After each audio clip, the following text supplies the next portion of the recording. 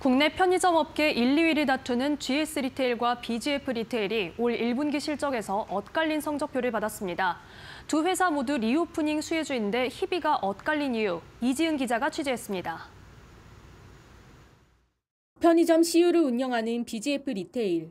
올 1분기 영업이익이 전년 대비 75% 급증했습니다. 배달 픽업 서비스인 포켓CU를 통해 온라인 배송에 대응하고 새벽 배송 서비스인 헬로 네이처를 B2B로 전환하며 재무 건전성을 높인 점이 주효했습니다.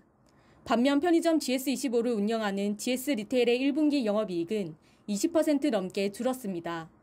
디지털 commerce 사업, H&B, 자회사 등 신사업 실적이 부진했기 때문입니다.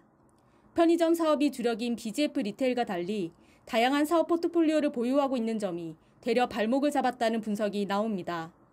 두 회사의 명암은 주가에서도 확연히 드러납니다. BGF 리테일은 올해 들어 주가가 40% 가까이 상승한 반면 GS 리테일은 10% 넘게 하락했습니다. 앞으로 주가 격차가 더 벌어질 가능성도 있습니다.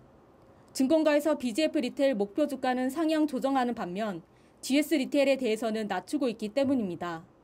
GS 리테일은 좋지가 않죠. BGF 리테일로 수급 측면에서 일단 쏠리는 현상이 있고요. 실적이 잘 나왔으니까 밴드가 더 올라가겠죠? 두 기업의 경영 전략은 여전히 엇갈립니다. BGF 리테일이 선택과 집중이라면 GS 리테일은 인수합병과 시너지입니다. 업계 양대 산맥인 BGF 리테일과 GS 리테일. 하반기 두 회사의 실적과 주가의 격차가 줄어들 수 있을지 관심이 모아집니다. 이데일리 TV 이지은입니다.